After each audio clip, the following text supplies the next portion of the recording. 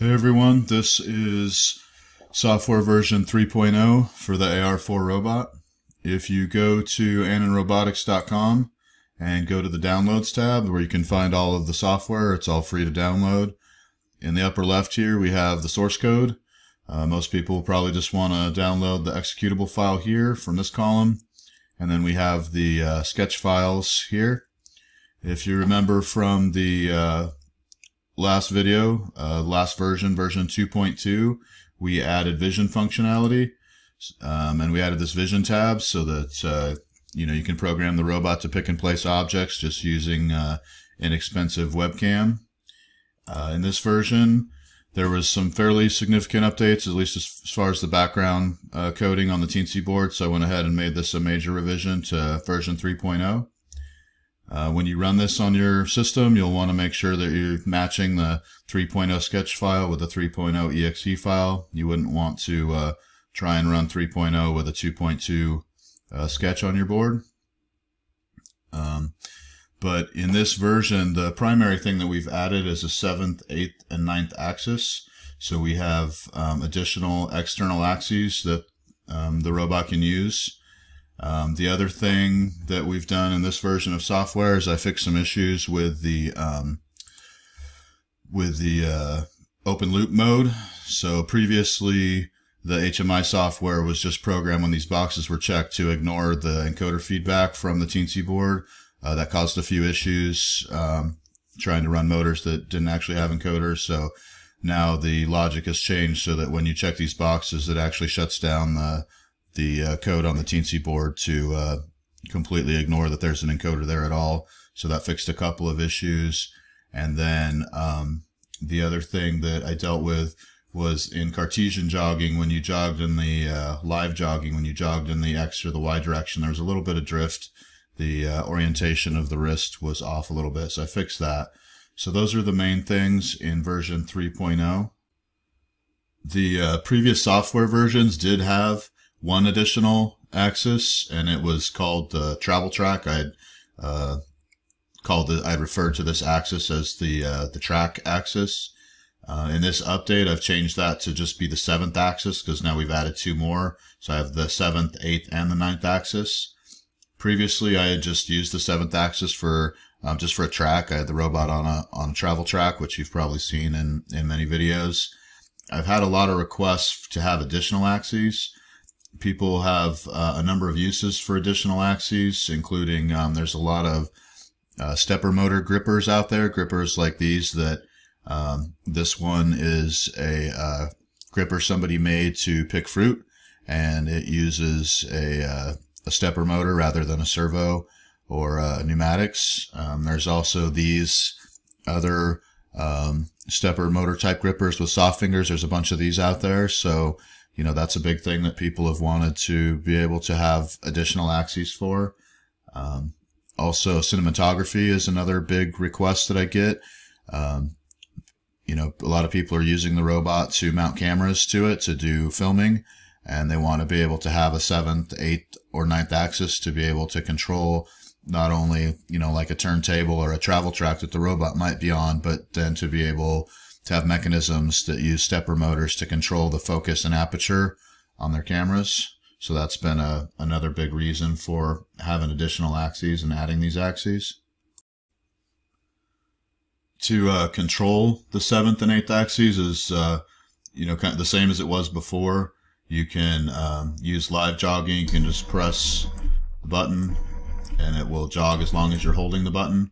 You can also put it into incremental mode and let's say that we wanted to move it in increments of 20 millimeters. We could have it in incremental mode. And then um, just each time you click the button, the axis will move in in 20 millimeter increments. And that's the same for, for all three of those axes. And now as far as um, uh, wiring these up and um, calibrating them, if we go to the config setting tab, I've added a seventh, eighth, and ninth axis section right here. And so what we have here is I can define the length of the axis. So I can put in my overall length. I can put in um, the millimeters per revolution of the motor that um, my axis, how I want to define its movement. In this case, I'm just using a uh, ball screw. And so that is four millimeters per revolution. And then I just need to put in my drive steps. So I have my current uh, drive at half steps, which is um, 400, uh, basically 400 microsteps. And so once those are in there, you can hit save and that'll save that to the Teensy board and it will calibrate that axis. And then um, as far as um, the step direction pins that it's set up for, uh, the seventh axis is still, I, I put some notes down here at the bottom telling you which step and direction pins each motor goes to. Um, axis 7 is still uh, pins 12 and 13, just as it was before. Um, if we look at the manual, the uh, in the uh, section for the schematics, I've got a little drawing here that shows the optional uh, seventh axis, and you can see that the uh, direction pin and pulse pin, the step and direction pins, are wired to pins 12 and 13. That's how they've always been, and I've left it that way so that uh, nothing changes for people who have already built the robot. Um, then for um, the eighth and the ninth axis, I had to move up to pins 32 and 33 um, for the eighth axis, and then pins 34 and 35 for the ninth axis. So that information's right here. So it's uh, it's not in the manual as far as that. Uh, it's not shown here um, in the manual, but it is right there in the software, so you know which pins to hook it up to.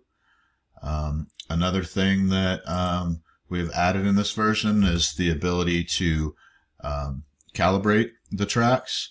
As you know, with the robot, um, the robot calibration section is right here, and you can, as I've shown in previous videos, you can auto calibrate the robot. The robot will drive to each of its limit switches and calibrate each axis. So I've added that ability for the seventh, eighth, and ninth axis that wasn't there before. We can now install a um, we can install a limit switch on the track, and you can see here I've installed a limit switch at the end of my uh, track. And then I can just click this uh, button here for auto calibrate axis 7 and what that'll do is it will um, drive the robot to that limit switch and it will calibrate the track to zero just as it does uh, for the robot itself. So now that it's done, it says uh, joint 7 calibrated successfully. And if I come back to the main tab, you can see it's driven to its uh, calibration point and the seventh axis value is uh, right back at zero again. And then as far as wiring on that, we have, um, I've also put in these notes which pin to wire your limit switch to. So for that, the seventh axis, it's pin 36. For the eighth axis, it's pin 37. And for the ninth axis, it's pin 38. So as you can see here, let me open the manual.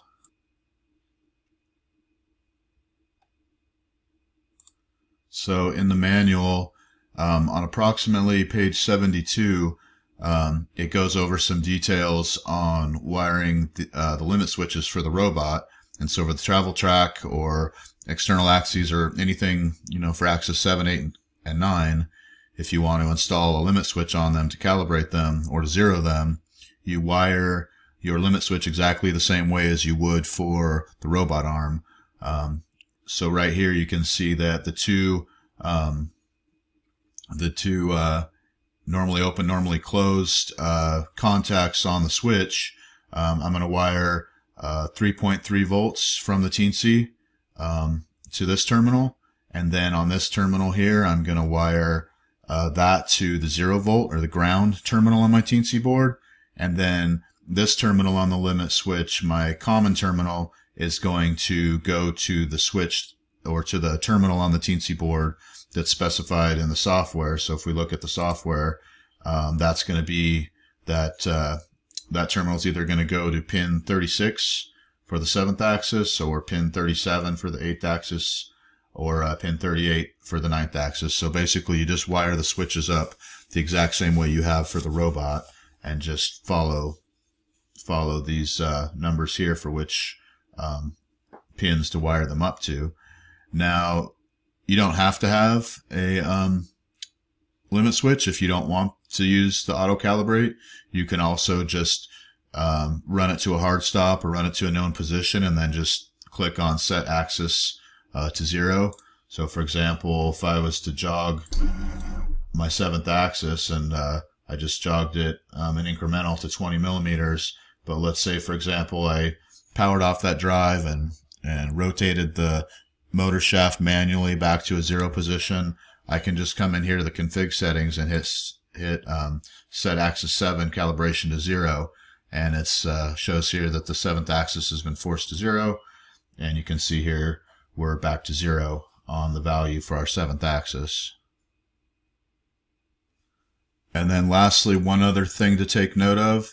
On the config settings, I did add a 7th, 8th, and 9th offset to the calibration offsets.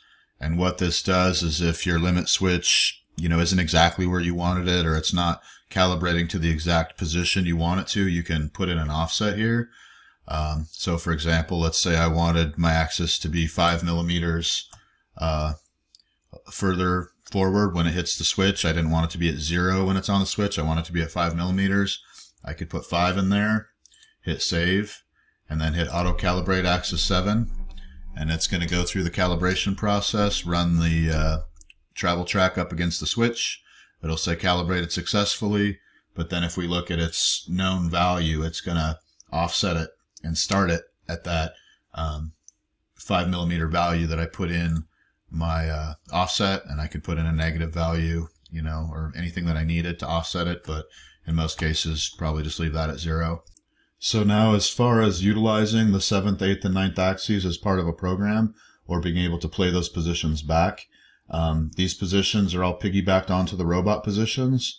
Um, and those can are added as part of either a joint move, an offset move, a linear move, or an absolute rotation of joints move, a move R. So each of these move types, a joint move is just a movement using all joints defined in the XYZ yaw pitch and roll. Offset is an offset of a joint move, just offset by a position register in the registers tab. And then a uh, move L is just a linear move defined in uh, XYZ yaw pitch and roll, but it uses the kinematics to make sure that the robot arm moves in a perfectly straight line. And then a move R is just a movement that's very similar to a move J. It's just defined in the joint um, rotation value rather than the Cartesian XYZ value. Um, but nonetheless, they all um, give you a way to utilize the external axes. So for example, if I click on Move J and teach new position, you can see here that it has the robot positions, um, which currently I have the robot in kind of a home or an L configuration right now. And then joint 7 is recorded at 0, joint 8 is at 0, and joint 9 is at 0, which is where they're currently at. Now, um, if I were to, for example, I'm in um, incremental mode, um, 10 millimeters. Let's move uh, axis 7 to 10. Let's move the 8th axis to 20 millimeters. And we'll move the 9th axis to uh, 30 millimeters. And now if I teach position on that, you can see here that joint 7's at 10, joint 8's at 20, and joint 9's at 30. So um, basically you know, I didn't move the robot at all, but if I had, it would include that as well. So this could include a robot movement along with external axis movement, all coordinated together. Or if I want, I can just move, you know, only what I change is added to the movement. So if I was to execute that first move, and now you can see all my axes are back to zero where I taught that move, or if I execute the second move, you can see that all my axes move to 10, 20, and 30. So these moves can be either just the external axes or they can be the robot only or the robot plus one or two of them, whatever you want. So anything you put in here is what, uh, you know, is going to be played back. And it's the same thing for any of these. If I chose a move R in top position, it puts in a move R and the same thing. The joint, they're all defined in, in joint rotations, but, um, joint uh, 7, 8, and 9 are just piggybacked on there. So anyway, that's how you utilize those joints in a program. So give that a try. Um, let me know if you find any issues or bugs, and thank you for watching.